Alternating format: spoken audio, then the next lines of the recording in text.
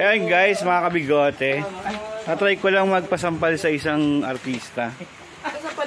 Yun. Si Miss Yayo.